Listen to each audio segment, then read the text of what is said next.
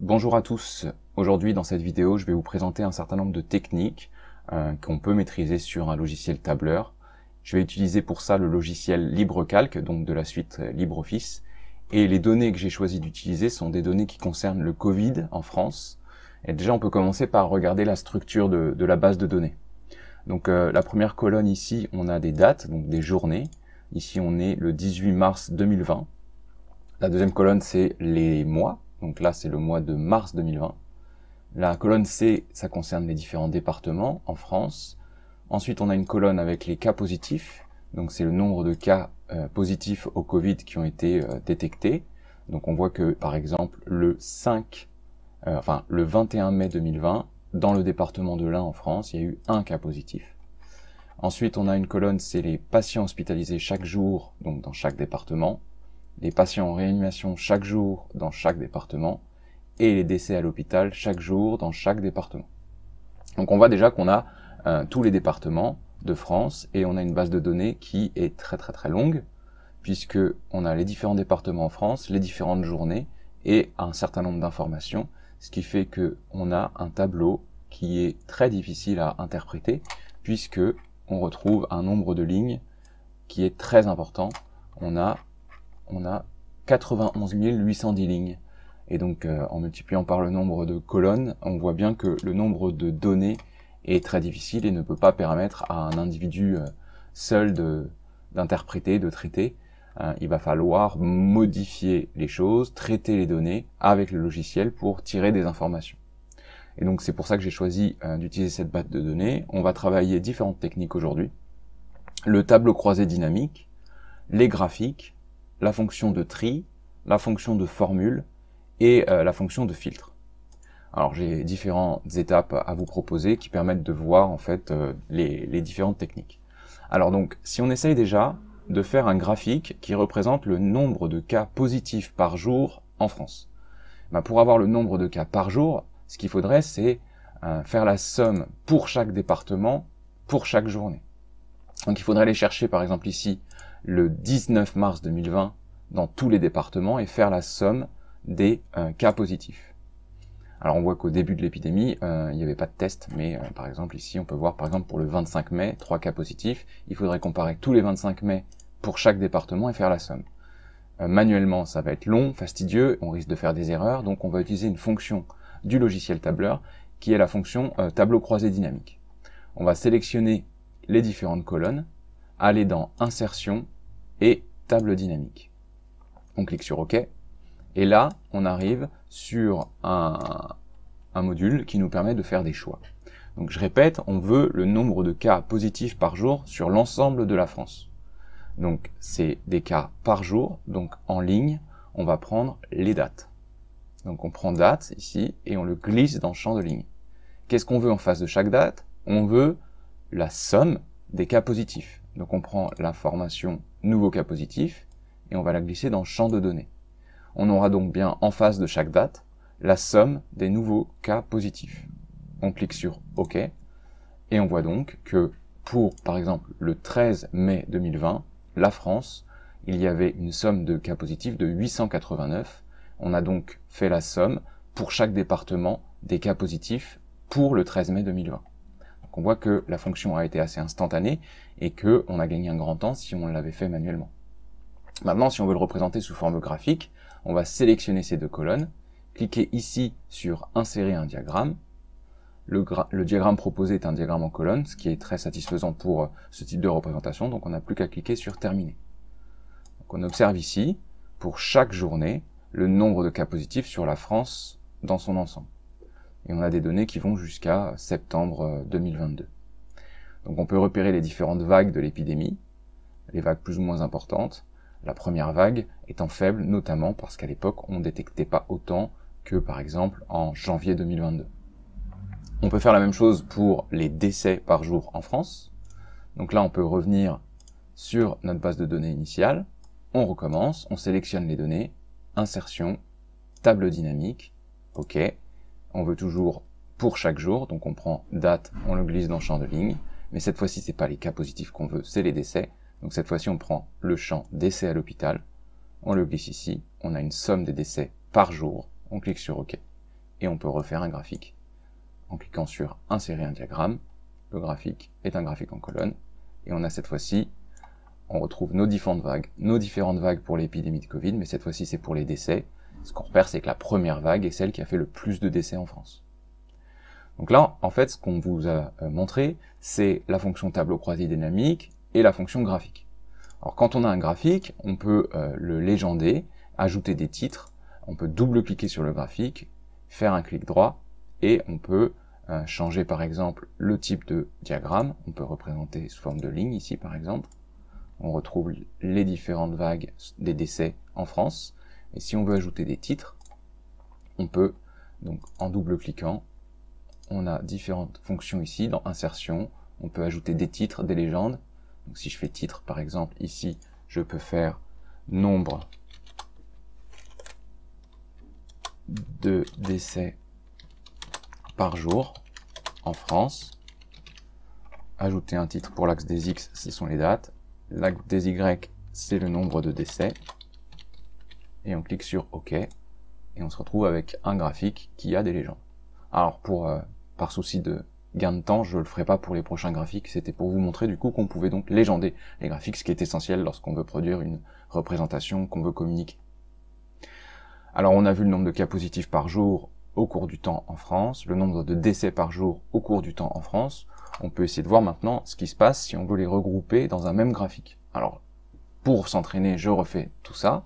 On peut sélectionner, cliquer sur insertion, table dynamique, et on va prendre encore une fois le champ de date, le nombre de cas positifs et le nombre de décès, et on voit qu'on peut mettre dans un tableau croisé dynamique plusieurs champs en même temps, et on obtient ce euh, tableau-là et on peut faire un graphique où cette fois-ci, on aura les deux informations qui seront regroupées. Alors ce qu'on remarque, c'est que euh, on ne voit pas les décès. La raison pour laquelle on ne voit pas les décès, c'est que le, nombre de décès est largement inférieur au nombre de cas positifs, ce qui fait que c'est une fine ligne rouge qu'on a en bas et qu'on voit à peine. Euh, si je représente le graphique cette fois-ci sous forme de ligne, vous allez la voir, cette ligne rouge, pour les décès, elle est en bas, parce que le nombre de décès étant très inférieur au nombre de cas positifs, ben, on peut pas les voir. Ce qui serait intéressant, ce serait de les voir. Donc pour ça, on pourrait faire un deuxième axe Y, un deuxième axe désordonné, où on aurait un axe désordonné pour les cas positifs et un axe désordonné pour les décès. Alors pour ça, on peut cliquer par exemple sur une des euh, représentations, par exemple les décès, je double-clique sur la courbe rouge et je peux sélectionner axe Y secondaire. Je fais OK. Et donc là, sur le graphique, on retrouve les décès en rouge et les cas positifs en bleu. Alors là, du coup, ce qui est important, c'est de savoir euh, quel est l'axe qu'il faut lire selon la courbe. Donc là, ça peut être intéressant de les nommer. Donc je double-clique à nouveau, insertion, titre. Et donc mon axe Y, le premier, c'est les cas positifs. L'axe Y, le deuxième, c'est les décès. Et donc on retrouve ici les décès. Donc quand on analyse la courbe rouge, on va regarder les valeurs qui sont sur l'axe des ordonnées à droite. Quand on analyse la courbe bleue, on va regarder l'axe des ordonnées à gauche. Et donc on voit par exemple que la première vague a fait énormément de décès, la deuxième vague aussi, et que là on se retrouve avec des vagues qui font moins de décès, malgré un nombre de cas positifs plus important. Ça, ça peut être en partie dû donc à des mesures, notamment la vaccination.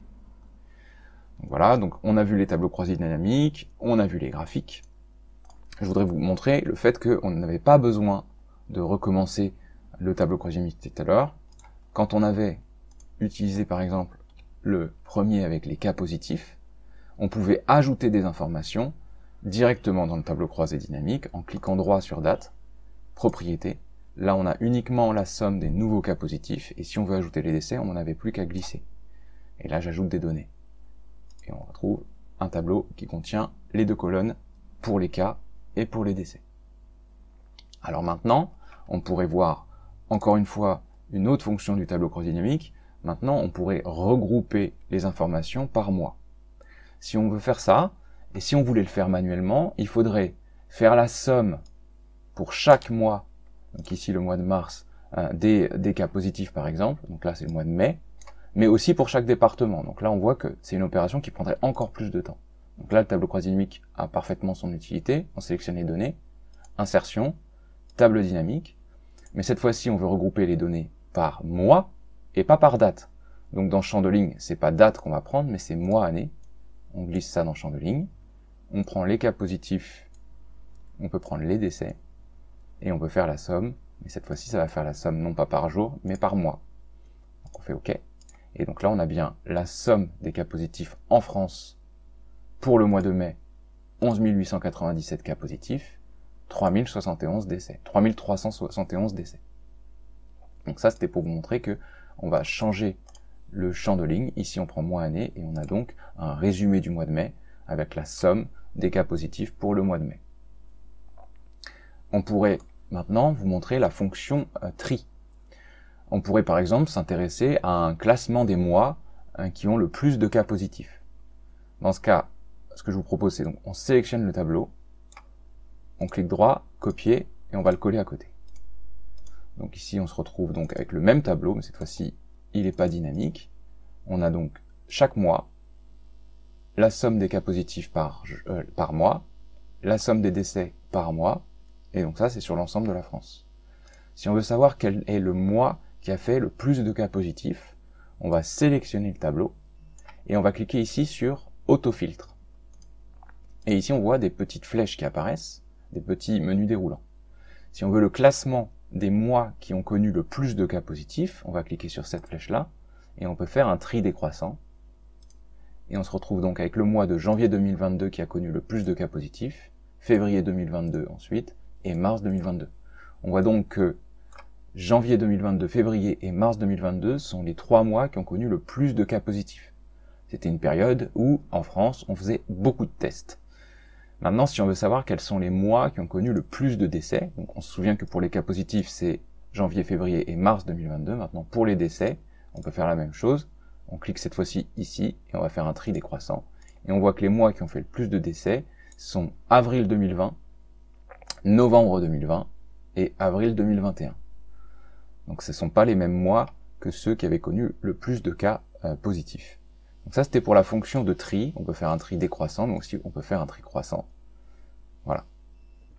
Alors maintenant, je vous ai montré avec le tableau croisé dynamique qu'on pouvait faire la somme, mais en fait, c'est pas la seule chose qu'on peut faire avec le tableau croisé dynamique. On peut également faire des moyennes, des maximums, des médianes. Donc si je reprends, donc je vais supprimer ça, supprimer les colonnes, je vais retirer l'autofiltre, et donc on a ici donc nos données, et là, le tableau croisé dynamique, c'est un tableau qui nous montre la somme par mois en France pour les cas positifs, la somme par mois en France pour les décès.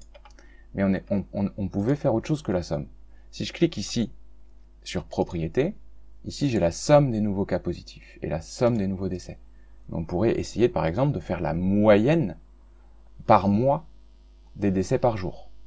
La moyenne par mois des cas positifs par jour. Dans ce cas, Ici, au lieu de choisir faire, faire la somme, on va double-cliquer et choisir faire la moyenne. Pareil pour les décès, double-cliquer, faire la moyenne. Donc on voit qu'avec un tableau croisé dynamique, en fait, on peut faire plein de traitements différents. je vais reprendre à partir de la base de données brute. Cette fois-ci, donc, on va refaire la même chose. On veut la moyenne des cas par jour, par mois. Donc, on prend les données, insertion table dynamique, OK. Fois-ci, donc c'est encore une fois par mois, la moyenne des cas positifs. Donc de base, quand je prends nouveau cas positif, il me propose une somme, mais je peux lui demander une moyenne, une médiane, un maximum. Donc cette fois-ci, c'est la moyenne que je veux. Pour les décès, pareil. Il me propose de base une somme, je double-clique, cette fois-ci, je veux la moyenne. Et ce qu'on voit, c'est que on a cette fois-ci, mai 2020, on a en moyenne 6 nouveaux cas par jour. Et en moyenne, un décès par jour. Donc on peut également euh, faire des graphiques avec ça. On prend les données, on fait un graphique. Et là, ici, on a, on va faire un axe Y secondaire. Hop. On a donc en rouge la moyenne des décès par jour. En bleu, la moyenne des cas positifs par jour. Donc ce qu'on remarque, c'est qu'effectivement, dans les premières périodes de l'épidémie, on avait des décès par jour très importants, alors que maintenant on est dans des périodes où on a plutôt euh, des cas positifs très importants, mais euh, des moyennes de décès un peu plus faibles. Alors attention là du coup on a deux axes, donc à droite cette fois-ci c'est les cas positifs, je vais enlever l'axe Y secondaire, ici on a donc euh, la moyenne des cas positifs par jour. On retrouve ici la période de janvier 2022 où on avait un très grand nombre de cas positifs. Si je supprime les données qui concernent les cas positifs, il va me rester que les décès. Donc ici, c'est la moyenne des décès par jour. On voit bien qu'en 2020, on a un nombre de décès par jour moyen qui est plus important que le reste du temps. Ça, c'était pour vous montrer également qu'on pouvait faire des moyennes dans les, euh, dans les tableaux mais on peut faire aussi des maximums. Alors par exemple, si on veut savoir quelle est la journée qui a connu le plus de cas positifs. Donc on peut à nouveau sélectionner, insertion, table dynamique. On veut connaître la journée qui a connu le plus de cas positifs. Alors on peut reprendre mois, on prend cas positif, mais cette fois-ci, plutôt que de faire la somme des cas positifs chaque mois, on veut que le tableau croisé dynamique aille chercher le maximum. Donc on double-clique et cette fois-ci on fait maximum. Ce qu'on a ici, c'est donc ici, en mai 2020, la journée qui a connu le plus de cas positifs, c'était une journée où il y avait 97 cas positifs. En décembre 2021, 14 687 cas positifs sur la journée qui a connu le plus de cas positifs. Donc ça, c'est la journée qui a connu le plus de cas positifs pour chaque mois, mais on aurait très bien pu aussi la trouver directement. Là, ici, si je fais une sélection sur le tableau et que j'applique un autofiltre, je peux classer les journées par nombre de cas positifs. Si je fais un tri décroissant, on voit que il y avait 23 855 cas positifs dans le département du Nord le 24 janvier 2022. Mais là, c'est par département. Je voudrais pour la France. Donc, on peut sélectionner, insertion, table dynamique. Donc, on veut regrouper l'ensemble des 24 janvier, par exemple, mais pour tous les départements, donc pour toute la France, donc par date, le nombre de cas positifs. Mais cette fois-ci, je veux donc la somme. Hop. Donc ça, c'est pour les cas positifs. Je copie mon tableau. Je colle. J'applique un filtre et on va faire un tri décroissant et on voit que la journée qui a connu le plus de cas positifs en France, c'est le 24 janvier 2022. Au total, un nombre de cas positifs de 550 787 cas positifs rien qu'en une journée. Donc ça, c'était pour vous montrer euh, la fonction tri appliquée au tableau croisé dynamique. Alors, je vais vous montrer maintenant euh, comment on peut faire des formules. Par exemple, on pourrait se dire, on voudrait savoir quelle est la moyenne des cas positifs chaque jour et la moyenne des décès chaque jour. Bon, on recommence juste pour s'entraîner. On prend la donnée, un tableau croisé dynamique. Donc c'est par jour, les cas positifs, les décès. Tout ça, je l'ai déjà fait. Voilà notre tableau. Moi, je voudrais connaître la moyenne des cas positifs par jour, la moyenne des décès par jour. Ben, pour ça, on a chaque jour on a une somme de cas positifs, une somme de décès. Moi, je veux savoir combien il y a en moyenne depuis le début de l'épidémie. Donc, je peux écrire ici, euh, je vais recopier mon tableau à côté pour en faire un tout propre. Je sélectionne toutes mes données.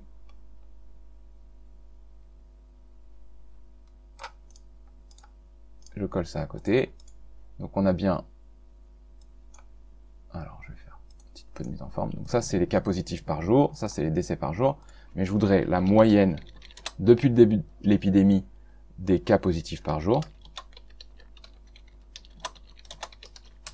Et la moyenne depuis le début de l'épidémie des décès par jour. Alors, pour ça, on veut la moyenne de la colonne H.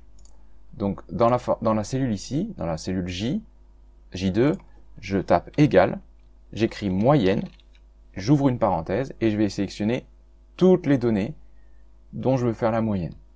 Et là, je vais avoir la moyenne des cas positifs par jour. Alors bon, là, ça va être très très long. On pouvait gagner du temps. je vais le faire, gagner du temps. On voit que c'est dans la colonne J. Ça, c'est une moyenne que je veux faire. Alors attendez, j'efface ce que j'ai fait.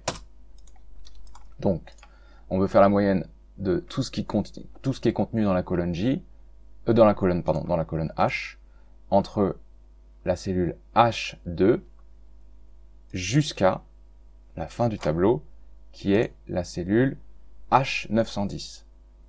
Donc, pour faire la moyenne, on va écrire égale moyenne de la cellule H2, point virgule, jusqu'à la cellule H910. Je sais plus si c'était 910, je me suis trompé. C'est pas un point virgule. On va mettre deux points, pardon. On a donc ça. Je pense que je me suis trompé. C'était 910 ou pas? Oui, 910. Donc je me suis pas trompé. Donc là, je l'ai fait en tapant directement les références des cellules. Quand je clique, on voit bien que ce qui est sélectionné comme données en bleu, c'est la moyenne que je veux faire. Donc c'est bon. Donc, on n'est pas obligé de taper. Hein. Si vous êtes débutant, euh, vous sélectionnez les données manuellement, comme je voulais le faire tout à l'heure. Donc on se met dans la première cellule et on va étirer, étirer, étirer jusqu'à la fin du tableau.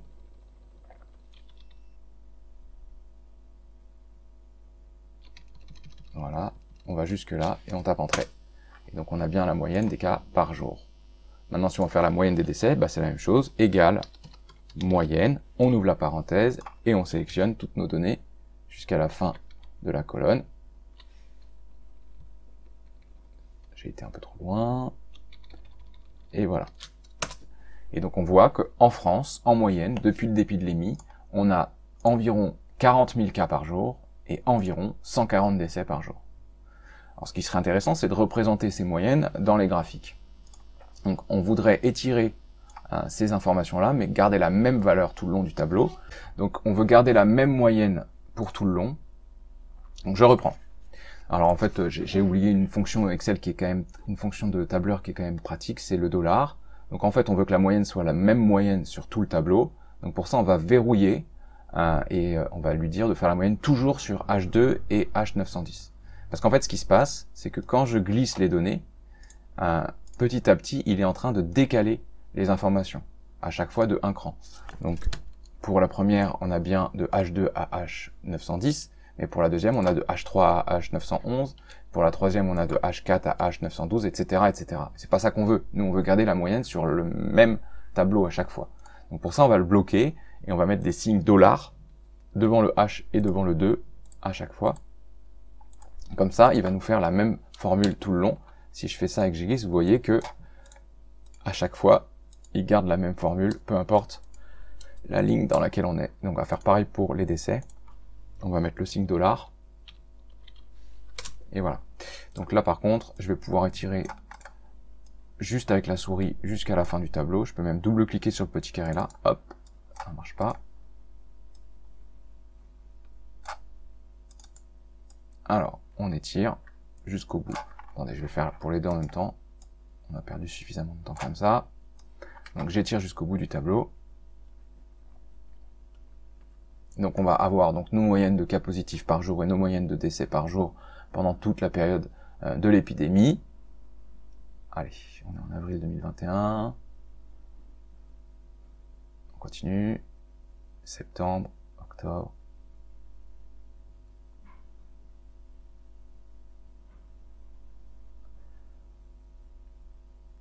On y est presque. Voilà. Donc on a nos moyennes. Et donc là, ce qui serait intéressant, c'est donc de faire un graphique, par exemple, pour les cas positifs, où on va comparer les cas par jour à la moyenne des cas par jour. Donc là, on peut faire un graphique en choisissant des colonnes. Alors, on va maintenir la touche contrôle du clavier appuyé, on sélectionne la colonne G, on sélectionne la colonne H pour les cas positifs, et on va ajouter la moyenne des cas positifs par jour, donc on sélectionne la colonne J, toujours en maintenant la touche contrôle appuyé. Et là, on peut faire un graphique. Par exemple, un graphique en ligne, ce qu'on retrouve donc, c'est que on a la ligne rouge qui correspond à la moyenne des cas positifs par jour, et on peut voir donc les périodes où on avait moins de cas positifs par jour que la moyenne, et on peut voir les vagues où le nombre de cas positifs était largement supérieur à la moyenne depuis le début de l'épidémie. On peut faire la même chose euh, pour les décès, donc on maintient la touche contrôle appuyée, on sélectionne la date, les décès et la moyenne des décès par jour, et on va faire le même graphique en ligne. Et ce qu'on retrouve donc, c'est que la première vague de l'épidémie a fait bien plus de décès que la moyenne depuis que le début de l'épidémie a lieu. on voit que le nombre de décès, au final, s'est réduit avec le temps. Et ça, ça s'associe notamment à la vaccination. Donc, euh, dernière chose dont je voulais vous euh, parler pour cette vidéo, c'est la fonction filtre par exemple, si je reprends un tableau croisé dynamique où on fait la somme des cas et des décès par mois, insertion, table dynamique, mois, année, les cas positifs, les décès, en somme. Je voulais par exemple, si on veut comparer euh, les différents mois d'août, eh bien on peut le faire ici, on voit que dans le tableau croisé dynamique, on a une petite flèche de menu déroulant, on va cliquer dessus et on a ici rechercher des éléments. Ce qu'on remarque, c'est que les mois, c'est ce qui est après l'année, donc -03, -04, c'est des mois. Si je veux comparer les différents mois d'août, le mois d'août c'est 0,8, je vais écrire ici -08, et on voit bien qu'il va nous garder uniquement les trois mois d'août, août 2020, août 2021 et août 2022. Et on clique sur OK. Et donc là, je peux faire une comparaison des trois mois d'août. Par exemple, si je veux comparer euh, pour les, euh, les, les, cas positifs, je sélectionne ces données-là, je fais un graphique, et ce qu'on voit, alors ici j'ai tout pris sans faire exprès, je vais retirer les décès, ici on voit que pour les cas positifs, août 2020, il y a eu beaucoup moins de cas positifs, et août 2021 et août 2022, le nombre de cas positifs pour ces deux mois d'août est assez comparable. Si je veux faire la même chose pour les décès, pareil, on va refaire le graphique. Cette fois-ci, on supprime la colonne des cas positifs pour voir que les décès. Pour les décès, ce qu'on remarque, c'est que euh, on a eu plus de décès euh, en août 2021 qu'en août 2022. Donc ça, c'était pour vous montrer cette fonction de tri, dans, de filtre dans, dans le tableau croisé dynamique, où on peut garder uniquement ce qui nous intéresse. Par exemple, si on veut garder que l'année 2021, on peut taper 2021, et là, on a uniquement l'année 2021, et on peut faire l'évolution de l'épidémie au cours de l'année 2021. Donc voilà ce que je voulais vous montrer. Donc pour récapituler, on a vu différentes fonctions, la fonction tableau croisé dynamique, les graphiques, comment légender un graphique, comment faire des tris, comment faire des formules, on a vu l'exemple de la formule avec la moyenne, et aussi comment appliquer des filtres. Bon courage et euh, entraînez-vous.